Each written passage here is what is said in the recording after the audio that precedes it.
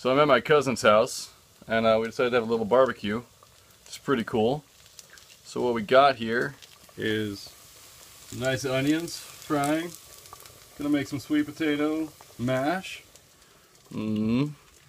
Some onion, lemons, sorry, for the salad. Got some sweet salad, some chev, some cherry tomatoes, goat cheese.